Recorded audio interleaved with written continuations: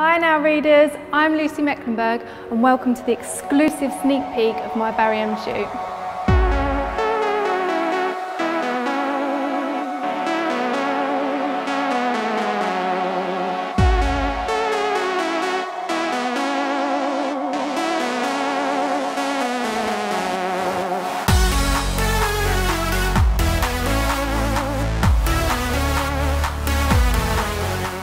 I'm Adam Burrell, Barry M's Makeup Ambassador, and we're on to the first look of the day on Lucy, and we've gone for a really bold purple eye. It's still all about the lashes, so we've kept the purple quite soft, and to do that, I've just blended out the bold waterproof eyeliner in purple. So I've put that all over the lid, and then with a soft brush, just blended it all out, so you get a really soft purple hue.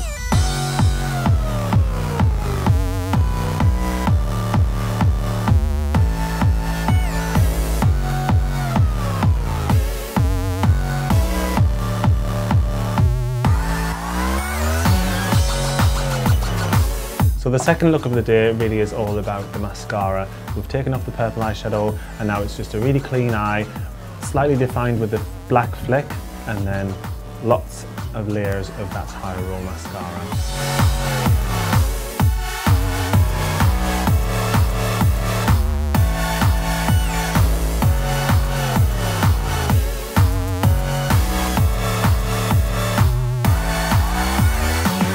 Always start at the root and then just wiggle the brush up your lashes from root to tip, corner to corner, just making sure that you're coating every single hair and the same with the bottom. And because this is such a thin, intricate brush, you can really get into the bottom lashes without making any mistakes.